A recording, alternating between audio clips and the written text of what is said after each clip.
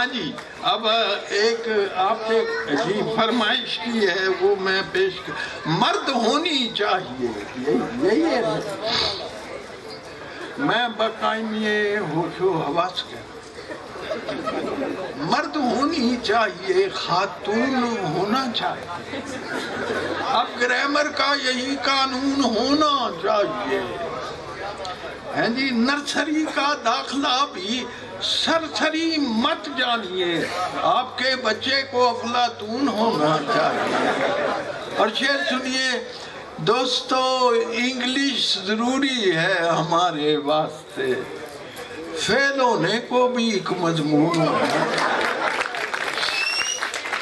याद रखिए, दुनिया की किसी कौम ने किसी गैर कौम की जबान के ज़रिए तरक्की नहीं की। ये सब अननेचुरल है जी अननेचुरल है। आप क्या करते हैं? बच्चा दो चीज़ें छोड़ के स्कूल में आता है। एक माँ की गोद की गर्मी, शफकत, और दूसरा माँ की ज़ुबान। आप उससे दोनों छीन लेते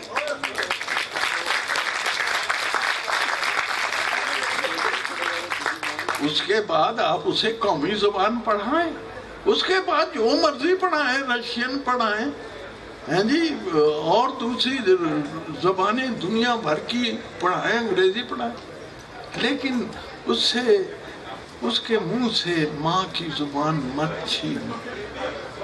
तो जनाब अब आ, दोस्तों इंग्लिश सत्तर साल हो गए इंग्लिश नाफिज नहीं होती। उर्दू से हो क्यों बेजार? इंग्लिश से क्यों इतना प्यार? छोड़ो भी ये रट्टा यार। Twinkle twinkle. अगर अभी तक आपने मेरा YouTube channel Kulliyat Anwar Masood subscribe नहीं किया तो अब कीजिए। और शेयर कीजिए।